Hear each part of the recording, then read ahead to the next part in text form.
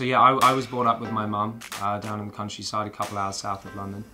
Um, and it was a very creative household. You know, she was an interior designer, she was a photographer. So for me, being around that environment really rubbed off on me. I used to go to school every day and I used to stay after class and I used to just sit there just drawing. I used to just draw lines and basically try and get the lines as close and close possible.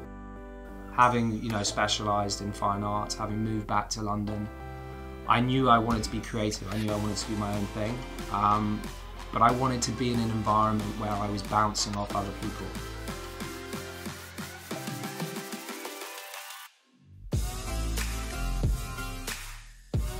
When I think of fashion, the one thing that always comes to mind is denim.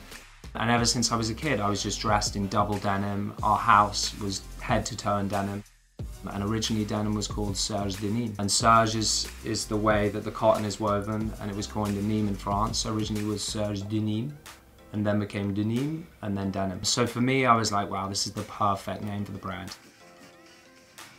Collections, they usually, you know, we, we come up with an idea, um, a subject, and we start mood boarding. That's the first thing that starts happening. You start pulling images, you start pulling ideas, and you put together this whole mood board. And usually we print it off, I like to visualize it, and we stick it all up on the wall.